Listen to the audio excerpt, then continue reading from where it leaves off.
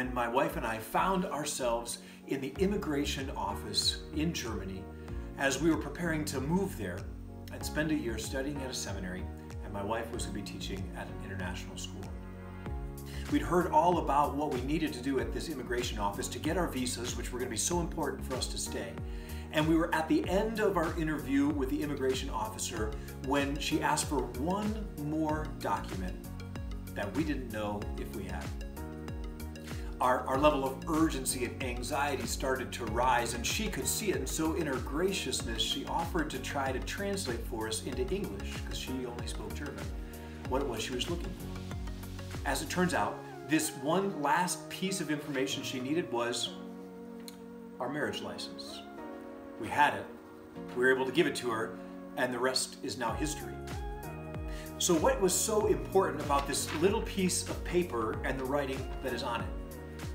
Today, we're going to talk about the sixth commandment and what God's best is for us when it comes to our sexual identity and our sexual relationships. This marriage license is a legal document from the state of Michigan that was signed and dated on the day that we were married and officially declares that my wife and I have committed ourselves to each other, excluding all others, so long as we both shall live. This document forms a legal relationship in the United States, and it also stands as a testimony to what God has done in our lives as well. For what Jesus teaches us is that what God joins together in marriage, nothing, no one, not a single force on earth should ever try to separate. Now, why is that? Well, let's go back to the beginning and the way that God made us in the first place. When we read through the book of Genesis, we discover that God made us male and female. Into our DNA, into our biology, our physiology, our emotions, and our spirituality, God has hardwired our identity as men and women, girls and boys. And from the beginning, He desired that we should explore and experience the fullness of our identity when we enjoy the gift of life together in marriage. After all, when he made Adam and saw that on his own he was incomplete and unsatisfied, he made for him a woman and brought her to him, thus making the first marriage ever.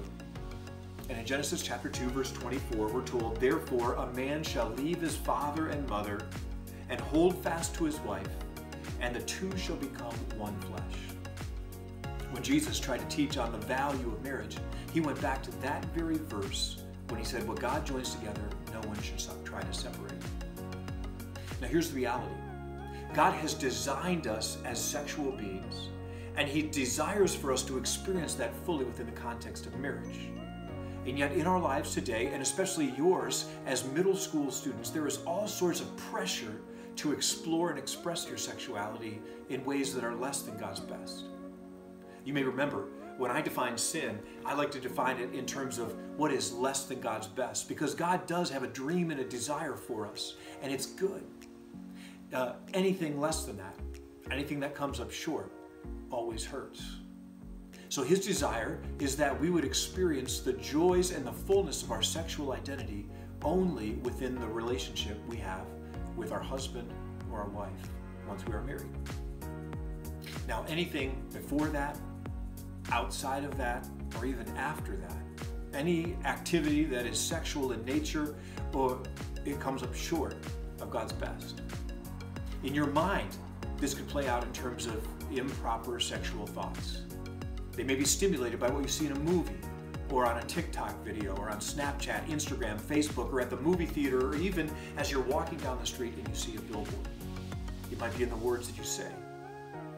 And so that's why Dr. Martin Luther, when he tried to explain for us what this sixth commandment was all about, he said we should fear and love God so that we'd lead sexually pure and decent lives.